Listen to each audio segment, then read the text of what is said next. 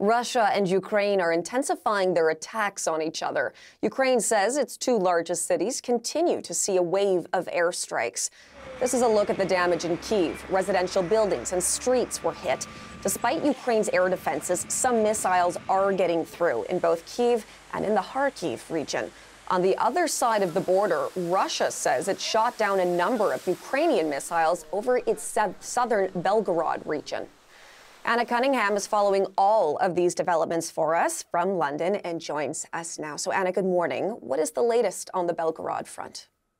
Morning, Hillary. Well, it's uh, day 679 of Russia's large scale war against Ukraine. And this morning, we've been hearing of another attack from the Ukrainians on the Russian border city of Belgorod. Russia's defense ministry there taking to the Telegram messaging app to say that its air defenses destroyed a total of 12 missiles launched at the region.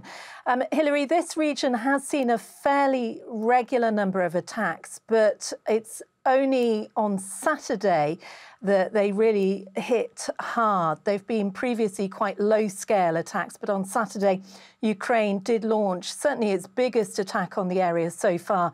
Russia saying that 25 people were killed then, and that prompted the Russian president, Vladimir Putin, to say that that attack on Belgorod would not go unpunished. And subsequently, we've seen these daily air assaults on Ukraine, including, as you said, the capital, Kiev, being hit hard, as well as Kharkiv, Kherson, Mykolaiv, and Zaporizhia regions. So that is the response from Russia's president, but we've also heard from Ukraine's president, Vladimir Zelensky. What is he saying?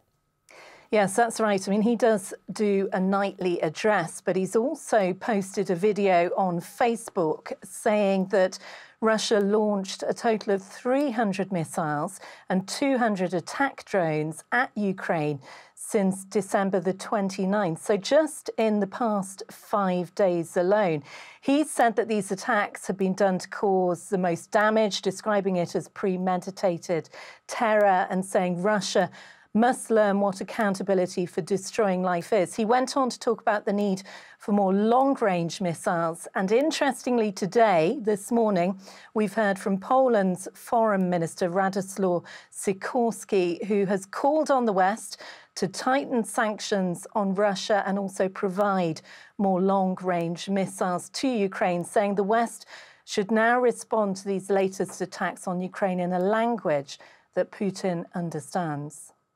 Okay, Anna, thank you for this. We appreciate it.